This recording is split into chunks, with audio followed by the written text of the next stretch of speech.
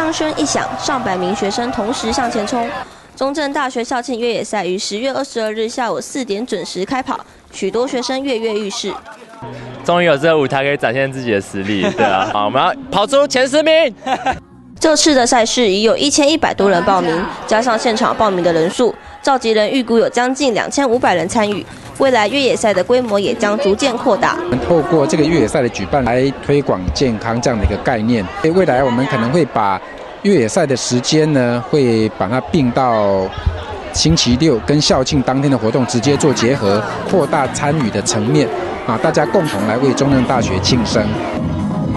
越野赛跑路线从行政大楼前起跑，经过宿舍区、体育馆、理学院、工学院、管理学院及社科院后，回到出发点，全程三点七公里。运进系的赖伟伦凭着不放弃的坚持拿下冠军。今年参加第四次了，一年比一年的还要好，因为参与人数一年比一年的人还要多，然后学校越做越棒，希望大家也支持一下这学校办的活动。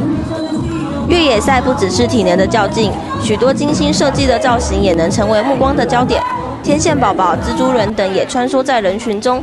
群中历史系同学油桶和资源回收桶的造型令人印象深刻。最近拉拉队嘛，然后大家都反映垃圾流的特别多，想在这里路上跑，然后想要大家把垃圾都收好。对，真的很热，可是也很开心这样子。